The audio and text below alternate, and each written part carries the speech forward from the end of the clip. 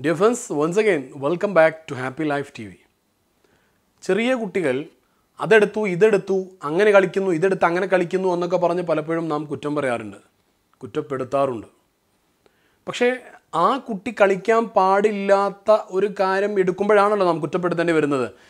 അത് പക്ഷേ ആ കുട്ടിക്ക് കിട്ടുന്ന സ്ഥലത്ത് അത് ആരാണ് കൊണ്ടുപോയി വെച്ചത് എന്നതിനെക്കുറിച്ച് നാം ചർച്ച ചെയ്യാറില്ല. ആ ചെറിയ പ്രായമുള്ള കുട്ടി അതെടുത്ത് കളിക്കുന്നു എന്നുള്ളത് ഒരു തെറ്റ് തന്നെയാണ്. പക്ഷെ ആ കുഞ്ഞിന് കിട്ടുന്നിടത്ത് ആ കാര്യം ആരാണ് വെച്ചത്? അത് നമ്മളാണ് വെച്ചിട്ടുള്ളത്. എന്നിട്ട് അതിനും കുട്ടിയെയാണ് സാധാരണ കുറ്റം പറയാറുള്ളത്. അഞ്ചോ എട്ടോ വയസ്സ് പ്രായമുള്ള പറഞ്ഞാൽ മനസ്സിലാകാൻ പ്രായമുള്ള കുഞ്ഞിനെക്കുറിച്ചല്ല ഇവിടെ പറയുന്നത്. ഇപ്പോൾ ഉദാഹരണം പറഞ്ഞ രണ്ട് വയസ്സുള്ള കുട്ടി മൊബൈൽ ഫോൺ എടുത്ത് കളിച്ചാലുള്ള ഭവിഷ്യത്തുകളെക്കുറിച്ച് ആ കൊച്ചിന് ആ കൊച്ചിന് അറിയില്ല ആ കുഞ്ഞിന് അറിയില്ല ആ കുഞ്ഞ് കാണാൻ ചന്തമുള്ള പാട്ടൊക്കെയുള്ള ചിത്രങ്ങളൊക്കെയുള്ള ഒരു ഒരു ഒരു- ഡിവൈസ് അത് കാണുമ്പോൾ എടുത്ത് കളിക്കും.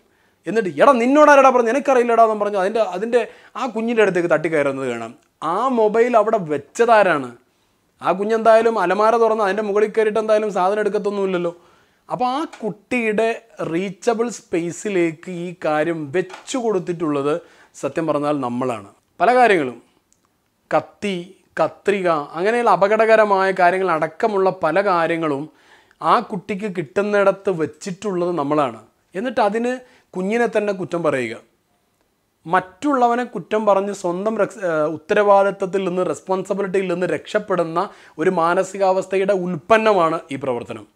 അത് പലപ്പോഴും നമ്മൾ ചെയ്യാറുണ്ട്. വണ്ടി തട്ടിക്കഴിഞ്ഞാൽ വേഗം മറ്റവന്റെ അടുത്തേക്ക് ചാടിക്കയറിയിട്ട് എടാ നീ എങ്ങോട്ട് നോക്കിയാണ് ഓടിച്ചത്? എന്നും പറഞ്ഞ് എന്നാൽ പിന്നെ എനിക്കങ്ങ് രക്ഷപ്പെടാമെന്ന് നീ നന്നായിട്ട് അങ്ങ് ഫയർ ചെയ്തേക്കണം. എന്നാൽ പിന്നെ നീ രക്ഷപ്പെടും എന്ന ചിന്തയാണ്. നോ നെവർ അത് ഈ കുഞ്ഞുങ്ങളുമായി ബന്ധപ്പെട്ടിട്ടും നാം അതേ സ്വഭാവമാണ് സത്യം പറഞ്ഞാൽ പ്രകടിപ്പിച്ചുകൊണ്ടിരിക്കുന്നത്. അപ്പോൾ ഒരിക്കലും കുഞ്ഞിന് കളിക്കാൻ പാടില്ലാത്ത കുഞ്ഞ് കളിക്കാൻ പാടില്ലാത്ത കാര്യങ്ങൾ അത് കുഞ്ഞിന് കിട്ടാത്ത അൺറീച്ചബിൾ ആയിട്ടുള്ള സ്ഥലത്ത് വെക്കുന്ന ആ ഒരു നല്ല ഒരു നിലപാട് അല്ലെങ്കിൽ ആ ഒരു സിസ്റ്റം നമ്മുടെ വീട്ടിൽ വളർന്നു വരേണ്ടതുണ്ട്.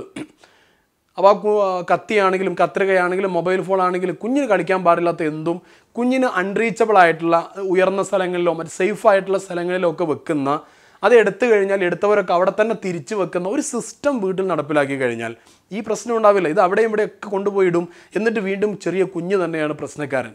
അപ്പോൾ ആവശ്യമില്ലാതെ കുഞ്ഞുങ്ങളെ കുറ്റപ്പെടുത്താറുണ്ട്. അത് ഒഴിവാക്കാനുള്ള ഒരു കൃത്യമായ ഒരു സിസ്റ്റം ഡെവലപ്പ് ചെയ്യുന്നതിനെക്കുറിച്ചുള്ള ഒരു പരിഹാരത്തെക്കുറിച്ചാണ് ഈ എപ്പിസോഡിൽ നാം ചർച്ച ചെയ്തിരിക്കുന്നത്. മറ്റു വിഷയങ്ങളുമായി അടുത്ത എപ്പിസോഡുകളിൽ നമുക്ക് വീണ്ടും കാണാം. Be with us for a happy life happy life T V